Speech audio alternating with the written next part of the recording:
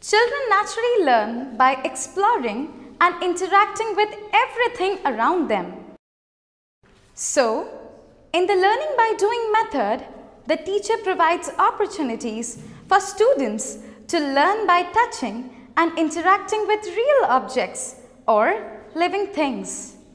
This allows the students to explore and discover in ways that make learning fun. Also, when the teacher introduces a new idea or concept like mixing two colors to make a new color, students have a hard time understanding.